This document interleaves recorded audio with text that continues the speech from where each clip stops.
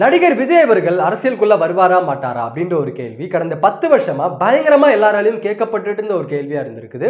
So அதுலேயும் முக்கியமா வந்து துப்பாக்கி படம் ரிலீஸ்க்கு அப்புறம் விஜய் அவர்களோட அப்பாவான எஸ்எஸ்சி சந்திரசேகர் அவர்கள் சொன்ன ஒரு சில விஷயங்களா இருக்கட்டும்.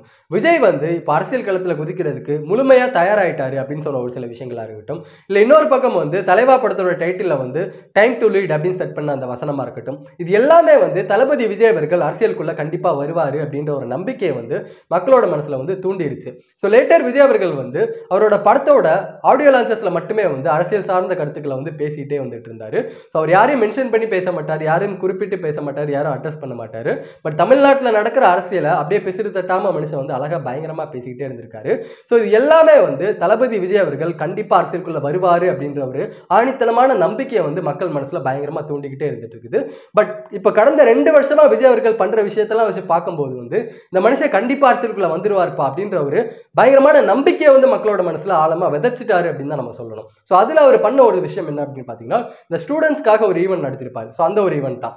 டென்த் டுவெல்த்தில் யாரெல்லாம் வந்து பயங்கரமாக மார்க் ஸ்கோர் பண்ணியிருக்காங்களோ ஸோ அவங்க எல்லாத்தையும் ஒரு இடத்துல கேதர் பண்ணி அவங்கள வந்து கௌரவிக்கிற விதமாக அவங்களுக்கு வந்து ப்ரைஸ் கொடுக்குறதா இருக்கட்டும் அவங்களுக்கு கூட நின்று ஃபோட்டோ எடுக்கிற விஷயமா இருக்கட்டும் இது எல்லாமே அவர் வந்து பண்ணியிருந்தார்ல. ஸோ ஸ்டூடெண்ட்ஸை வந்து எப்படி அவர் செலக்ட் பண்ணார் அப்படின்னு பார்த்தீங்கன்னா தொகுதி வாரியா இரநூத்தி முப்பத்தி நாலு தொகுதியில் இருக்கிற டென்த்து டுவெல்த்தில் யாரெல்லாம் ஹையஸ்ட் ஸ்கோர் பண்ணியிருக்காங்களோ அந்த தொகுதியில் இருக்க ஸ்டூடெண்ட்ஸ் எல்லாத்தையுமே வந்து அவர் ஒரு இடத்துல கேதர் பண்ணி இந்த ஈவெண்ட் வந்து நடத்திருந்தாரு ஸோ அவர் நினச்சிருந்தா டிஸ்ட்ரிக்ட் வைஸாக செலக்ட் பண்ணியிருக்காங்க ஸ்டூடெண்ட்ஸ் வந்து இன்னும் கம்மியாகவும் வந்திருப்பாங்க ஈவெண்ட் ஈஸியாகவும் நடத்திருக்கலாம் பட் அதை அவர் இப்படி பண்ணாமல் தமிழ்நாட்டில் இருக்கிற இரநூத்தி முப்பத்தி நாலு தொகுதியில் இருக்கிற டென்த் அண்ட் டுவெல்த் ஸ்டூடெண்ட்ஸ் வந்து யாரெல்லாம் நல்ல மார்க் எடுத்திருக்காங்களோ அவங்க எல்லாத்தையும் ஒரு இடத்துல கேதர் பண்ணி அவங்களுக்கு கௌரவப்படுத்துகிற விதமாக ஒரு விஷயம் பண்ணியிருந்தார்ல. ஸோ இந்த தொகுதி வாரியாக கணக்கு எடுக்கிறது அப்படின்றத வந்து அரசியல் களத்தை குறிக்குதுல. ஸோ இந்த மாதிரி ஒரு விஷயம் பண்ணும்போது வந்து தளபதி விஜய் அவர்களோட அரசியல் வருகைக்கு வந்து அது பயங்கரமான ஒரு அடி அடித்தளத்தை வந்து போட்டு கொடுத்துச்சு. சரி ஓகே தளபதி விஜய் அவர்கள் வந்து அரசியலுக்கு வராரு வந்துட்டாருனே வச்சுப்போமே. அவர் அரசியல் களத்துக்கு வந்து தகுதியான ஒருத்தரா? அரசியல் இருக்கிறதுக்கு அவர் ஃபிட்டா அப்படின்ற மாதிரி ஒரு கேள்வி வந்து லேட்டராக எழுப்ப ஆரம்பிச்சிச்சு. ஸோ அதுக்கு வந்து பதிலாக பலர் என்ன சொல்லிட்டு இருந்தாங்க அப்படின்னு பார்த்தீங்கன்னா ஆமாம் தளபதி விஜய் அவர்கள் வந்து அரசியல்வாதியாக இருக்கிறதுக்கு தகுதியானவர் தான் அப்படின்ற மாதிரி சொல்லியிருந்தாங்க. ஏன் அப்படின்னு பார்த்தீங்கன்னா ஒரு அரசியல்வாதிக்கு மிக முக்கியமான தேவையாக இருக்கிற ஒரு விஷயம் என்ன அப்படின்னு பார்த்தீங்கன்னா பொறுமை. ஏன்னா அரசியலில் ஒரு விஷயம் நம்ம ஜெயிக்கணும் அப்படின்னா அது வந்து ஒரு சில நாட்களும் ஆகலாம் இல்லை பல வருஷங்களும் ஆகலாம். ஸோ அதுக்கு வந்து நம்ம பொறுமையாக இருந்தால் மட்டும்தான் அதை வந்து நம்ம ஜெயிக்க முடியும் அப்படின்ற மாதிரி ஒரு அரசியல்வாதிக்கு பேசிக்காக அடிப்படையாக இருக்கிற ஒரு தகுதி என்ன அப்படின்னு பார்த்தீங்கன்னா பொறுமை அப்படின்ற விஷயம். அந்த ஒரு பொறுமை வந்து தளபதி விஜய் அவர்கள்ட்ட இருக்குது. ஸோ அவர் வந்து அரசியல் களத்துக்கு தகுதியான ஆள் தான் அப்படின்ற மாதிரி எல்லாரும் சொல்ல ஆரம்பிச்சாங்க. எதை வச்சு அவங்க சொல்கிறாங்க அப்படின்னு பார்த்தீங்கன்னா இந்த ஸ்டூடெண்ட்ஸ்க்காக ஒரு ஈவெண்ட் ஆர்கனைஸ் பண்ணியிருந்தார்ல. ஸோ அந்த ஈவெண்ட்டில் அந்த ஸ்டேஜில் வந்து தொடர்ந்து பத்து மணி நேரம் கேப் விடாமல் மனுஷன் வந்து நின்றுக்கிட்டே உட்கார கூட இல்லை. மனுஷன் வந்து நின்றுக்கிட்டே அவங்க எல்லாத்தையும் கௌரவிக்கிற விதமாக அந்த ஸ்டூடெண்ட்ஸ் எல்லாத்தையும் கௌரவிக்கிற விதமாக அவங்களுக்கு வந்து ப்ரைஸ் கொடுக்குறதா இருக்கட்டும் அவங்க கூட கை கொடுத்து ஃபோட்டோ எடுத்த விஷயமா இருக்கட்டும் தொடர்ந்து பத்து மணி நேரம் பொறுமையாக அந்த இடத்துல வந்து அதை பக்காவாக நடத்திட்டு போனார்ல. ஸோ அந்த ஒரு பொறுமை அப்படின்றது தளபதி விஜய் கிட்ட இருக்குது. ஸோ அதனால அவர் அரசியல் களத்துக்கு தகுதியான ஒரு ஆள் தான் அப்படின்னு சொல்கிறாங்க ஏன்னா அவர் நினைச்சிருந்தா வந்து அதை பண்ணியிருக்கணும் அப்படின்னு சொல்லிட்டு அவசியமே இல்லை. முதல்ல வந்து இரநூத்தி முப்பத்தி நாலு தொகுதியில் இருக்கிற ஸ்டூடெண்ட்ஸை செலக்ட் பண்ணியிருக்கணும் அப்படின்னு சொல்லிட்டு அவசியமே இல்லை. ஸோ இரநூத்தி முப்பத்தி நாலு தொகுதி அப்படின்னு சொல்லும்போது வந்து அந்த கணக்கு ரொம்ப பெருசாக வரும். பட் ஸ்டூடெண்ட்ஸ்க்காக அதை பண்ணணும் அப்படின்னு சொல்லிட்டு அந்த மனசு வந்துச்சுல. ஸோ அதில் அவர் தகுதியான மனுஷனாக மாறுறாரு. இன்னொரு பக்கம் தொடர்ந்து தொடர்ந்து பத்து மணி நேரம் அந்த ஸ்டேஜில் அவர் நிற்கணும் அப்படின்னு சொல்லிட்டு அவசியமே இல்லை. அவர் இருக்கிற ஸ்டார்டம்க்கும் அவருக்கு இருக்கிற அந்தஸ்துக்கும் தொடர்ந்து பத்து மணி நேரம் இந்த ஸ்டூடெண்ட்ஸ்க்காக இங்கே வந்து நிற்கணும் பொறுமையாக அப்படின்னு சொல்லிட்டு அவசியமே இல்லை. பட் அதை அவர் பண்ணார்ல. மக்களுக்காக பண்ணணும் அப்படின்ற ஒரு எண்ணம் இருக்குதுல்ல ஸ்டூடெண்ட்ஸ்க்காக பண்ணணும் அப்படின்ற ஒரு எண்ணம் இருக்குதுல்ல அண்ட் அதெல்லாம் தாண்டி அதை பண்ணுறதுக்கு பொறுமை இருக்குதுல்ல. ஸோ இதெல்லாம் வச்சு பார்க்கும்போது வந்து தளபதி விஜய் அவர்கள் வந்து அரசியல் களத்துக்கு தகுதியான ஒரு ஆள் தான் அப்படின்ற மாதிரி பயங்கரமாக சொல்ல ஆரம்பிச்சாங்க. அண்ட் இன்னொரு பக்கம் வந்து விஜய் மக்கள் இயக்கம். ஸோ விஜய் மக்கள் இயக்கம் வந்து ஒரு மக்கள் இயக்கமாக மட்டுமே செயல்படலை. அதுவும் முக்கியமாக வந்து இந்த கடந்த ரெண்டு வருஷமாக வந்து அது முழு நேரம் ஒரு அரசியல் கட்சி மாதிரி தான் செயல்பட்டு இருந்துச்சு அப்படின்ற மாதிரி எல்லாரும் சொல்லிட்டு இருந்தாங்க. ஸோ அந்த வகையில் இப்போ விஜய் மக்கள் இயக்கம் வந்து ஒரு ப்ராப்பரான அரசியல் கட்சியாக மாறப்போகுது அப்படின்ற மாதிரி ஒரு நியூஸ்லாம் இப்போ ரீசெண்டாக நம்ம வந்து கேள்விப்பட்டிருப்போம். அது அரசியல் கட்சியாக மாறுச்சு அப்படின்னா அந்த கட்சியின் பேர் என்னவா வைக்கப்படும் முதற்கொண்டு நமக்கு வந்து நியூஸ்லாம் லீக் ஆக ஆரம்பிச்சிட்டு which is going to be Tamilaga Munnetra Kazhagam. So தமிழக முன்னேற்ற கழகம் அப்படின்ற மாதிரி பேர் வந்துச்சு அப்படின்னா அதில் வந்து ஒரு மிகப்பெரிய ஒரு கன்ஃபியூஷன் வரும்னு நினைக்கிறேன். ஏன்னா நம்ம தமிழ்நாட்டில் வந்து ஆல்ரெடி திராவிட முன்னேற்ற கழகம் அப்படின்ற மாதிரி ஒரு அரசியல் கட்சி ஆல்ரெடி இருந்துட்டு இருக்குது.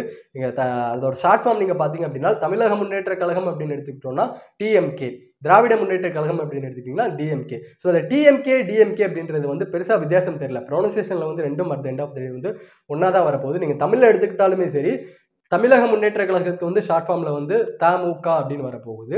திராவிட முன்னேற்ற கழகத்துக்கு வந்து திமுக அப்படின்னு வரப்போகுது. இந்த தமுக திமுக அப்படின்றதுல வந்து பெருசாக எந்த ஒரு வித்தியாசமும் தெரியல.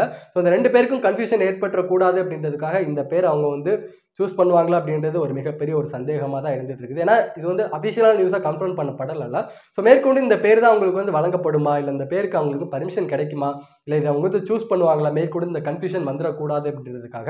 ஏன்னா ஆல்ரெடி இதை தாண்டி தமிழ்நாட்டில் இன்னொரு கன்ஃபியூஷனும் போயிட்டு இருக்குது தமிழ்நாட்டில் தளபதினா யார் அப்படின்ற ஒரு கன்ஃபியூஷன் இங்கே வந்து பயங்கரமாக போயிட்டு இருக்குது ஏன்னா ஒரு பக்கம் அரசியல் சைடு வந்து திராவிட முன்னேற்ற கழகத்தோட தலைவரான ஸ்டாலின் அவர்களை வந்து அந்த தொண்டர்கள் செல்லம்மா தளபதி அப்படின்றது வழக்கமாக கூப்பிட்டு இருப்பாங்க. அண்ட் இந்த பக்கம் சினிமா சைடில் வந்து விஜய் அவர்கள் தான் தளபதி அப்படின்ற மாதிரி எல்லாரும் கூப்பிட்டு இருப்பாங்க. ஸோ ஆல்ரெடி தமிழ்நாட்டில் வந்து தளபதினா யார் அப்படின்ற ஒரு கன்ஃபியூஷன் இங்கே வந்து பயங்கரமாக போயிட்டு இருக்குது. ஸோ அதுக்கு மத்தியில் இந்த மாதிரி கட்சி பேர்லையுமே வந்து தமுக திமுக அப்படின்ற மாதிரி கன்ஃபியூஷன் வந்துச்சு அப்படின்னா அது இன்னும் பெரிய ஒரு பயங்கரமான கன்ஃபியூஷன் ஆயிரும். ஸோ இந்த பேர் அவங்களுக்கு வழங்கப்படுமா? இல்லை அந்த பேருக்கு வந்து பர்மிஷன் கிடைக்குமா அப்படின்றதான் தெரியல. இல்லை என்ன ஆனாலும் இந்த பேரில் தான் நாங்கள் வந்து போட்டிடுவோம் அப்படின்ற மாதிரி அவங்க சூஸ் பண்ணாலும் இந்த மாதிரி விஷயமும் நடக்கலாம் நம்ம பொறுத்திருந்தா பார்க்கணும். ஸோ இதற்கான வேலைகள் அப்படின்றது வந்து விஜய் மக்கள் இயக்கம் ஆஃபீஸில் வந்து டூ டேஸ் முன்னாடி பயங்கரமாக நடந்துட்டு இருக்குது. விஜய் மக்கள் இயக்கம் ஆஃபீஸ்க்கு வந்து தளபதி விஜய் அவர்கள் ரெண்டு நாள் முன்னாடி பயங்கரமாக கான்ஃபரன்ஸ்லாம் நடத்துறாரு அப்படின்ற மாதிரி நியூஸ்லாம் நம்ம வந்து கேள்விப்பட்டிருந்திருப்போம். ஸோ அந்த கான்ஃபரன்ஸில் வந்து விஜய் மக்கள் இயக்கம் நிர்வாகி கிட்ட வந்து பயங்கரமாக பல விஷயங்கள் அவர் வந்து வலியுறுத்தியிருந்தார் அப்படின்னு சொல்கிறாங்க ஏன்னா நம்ம அரசியல் கட்சி அப்படின்றது வந்து அடித்தட்டத்தில் இருக்கிற கிராமங்களுக்கும் போய் சேரணும். நம்ம அரசியல் கட்சியை வந்து கிராமங்கள்லேருந்தே நம்ம வந்து வலிவுபடுத்திட்டு வரணும் அப்படின்ற மாதிரி அறிவுரைகள் தான் அவர் வந்து வழங்கியிருந்த மாதிரியும் அவர் வந்து சொல்லியிருந்தாரு. ஸோ இந்த மக்கள் இயக்கம் அப்படின்ற ஒரு விஷயத்த வந்து அரசியல் கட்சியாக மாற்றுறதுக்கான வேலைகள் அப்படின்றது வந்து தொடர்ந்து நடந்துக்கிட்டு தான் இருக்குது ஸோ அதுக்காக அந்த நிர்வாகிகள் வந்து டெல்லிக்கு மேற்கொண்டு அந்த ரெஜிஸ்ட்ரேஷன் வேலைலாம் பார்த்துட்டு இருக்காங்க அப்படின்ற மாதிரி நியூஸ் நமக்கு கிடைச்சிட்டு இருக்குது ஸோ இந்த எம்பி எலெக்ஷன் இல்லைனாலும் ரெண்டாயிரத்தி இருபத்தி ஆறில் வரப்போகிற எம்எல்ஏ எலெக்ஷனில் வந்து விஜய் மக்கள் இயக்கம் கட்சி வந்து கண்டிப்பாக போட்டியிடும் அப்படின்ற மாதிரி நியூஸ்லாம் நம்ம வந்து இப்போ கேள்விப்பட்டுட்டு தான் இருக்கிறோம். அப்படி போட்டியிட்டுச்சு அப்படின்னால் விஜய் அவர்களுக்கு வந்து எந்த அளவுக்கு சப்போர்ட் இருக்கும் எந்த அளவுக்கு ஓட் எண்ணிக்கை இருக்கும் அப்படின்றது வந்து ஒரு மிகப்பெரிய ஒரு கேள்விக்குறியாக இருக்குது. என்னதான் வந்து விஜய் அவர்கள் வந்து ஃபேன்ஸை மட்டுமே நம்பி போனார் அப்படின்னா அது வந்து வேலைக்கு ஆக போகிறது கிடையாது இல்லை ஃபேன்ஸை மட்டுமே நம்பி யாராலையும் ஜெயிச்சிட முடியாது. இன்ஃபேக்ட் சொல்லப்போனால் அந்த ஒரு கான்ஃபரன்ஸ்லேயே வந்து விஜய் அவர்கள் என்ன சொல்லியிருப்பார் அப்படின்னு பார்த்தீங்கன்னா வெறும் ரசிகர்களை மட்டுமே நம்ம வந்து நம்பி அரசியலில் இறங்க முடியாது. பொதுமக்களையும் நம்ம வந்து கொஞ்சம் பார்க்கணும். பொதுமக்களுக்கு என்னென்ன நல்ல விஷயங்கள் பண்ணணும்? பொதுமக்களுக்காக என்னென்ன நலத்திட்டங்கள் நம்ம வந்து பண்ணணும் அப்படின்றதெல்லாம் பார்த்தா தான் நம்ம வந்து அரசியலை ஜெயிக்க முடியும் அப்படின்ற மாதிரி ஒரு பாயிண்ட்டையும் அவர் வந்து நிர்வாகிகளுக்கு வந்து அறிவுறுத்துற மாதிரியும் நம்ம வந்து நியூஸ்லாம் கேள்விப்பட்டிருப்போம். ஸோ நம்ம பொறுத்திருந்து தான் பார்க்கணும் என்னென்ன நடக்க போகுது அப்படின்னு சொல்லிட்டு. ஸோ விஜய் அவர்கள் அரசியல் கட்சி ஆரம்பித்து அரசியலுக்குள்ளே வந்துட்டாரு அப்படின்னால் அவர் வந்து பப்ளிக் பிளாட்ஃபார்ம் வந்து கண்டிப்பாக பேசி தான் ஆகணும் கரெக்டாக அந்த ஆடியோ லான்ச்சில் வந்து மறைமுகமாக அரசியல் கட்சிகளை பற்றி பேசுகிறதா இருக்கட்டும் அரசியல் தலைவர்களை பற்றி பேசுகிறதா இருக்கட்டும் அதெல்லாம் அங்கே பண்ண முடியாதுல்ல.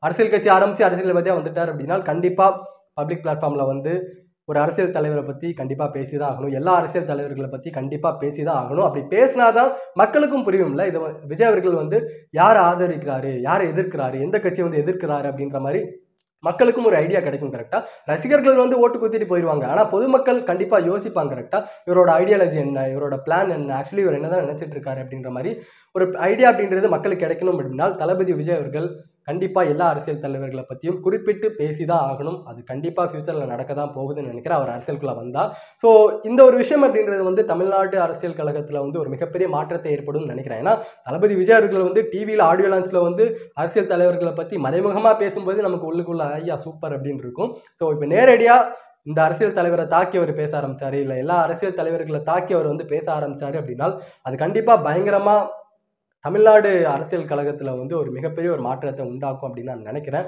ஸோ இதை பற்றி நான் உங்களோட கருத்து என்ன அப்படின்னு சொல்லிட்டு மறக்காம கமெண்ட் செக்ஷன் லீவ் பண்ணுங்க இன்னொரு விஷயம் நான் சொல்லணும்னு நினச்சேன்.